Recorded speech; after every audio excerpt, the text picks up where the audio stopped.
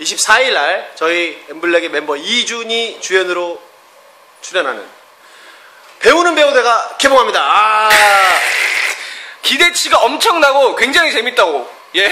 그리고 이준 씨가 굉장히 연기 잘했다고 소문이 자자한데요. 신인 배우 주니어 그리고 정말 멋있는 감독님 같이 만났으니까 정말 큰 시너지 효과가 있을 거라고 생각합니다. 많은 관심을 가져, 가져주시고 어, 예매를 하신 다음에 그리고 또 현장 구매도 하시고 그리고 친구들한테 선물도 주시면서 정말 열심히 준비했으니까 이쁘게 봐주시고 정말 재밌게 많은 분들이 봐주셨으면 좋겠습니다. 그럼 저희 엠블랙도 준이의 영화, 영화를 보러 배우는 배우다를 한번 시청을 해보러 어, 영화관으로 지금 바로 달려가 보겠 하겠습니다. 배우는 배우다 예매 필수. 지금 바로 예매 버튼을 꼭 눌러주세요.